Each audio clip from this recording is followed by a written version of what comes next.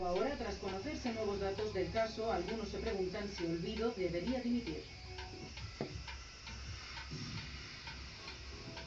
Olvido decide no dimitir y yo voy a preguntar de entrada a Lucía Echevarría, escritora, si ha hecho bien revocando su dimisión.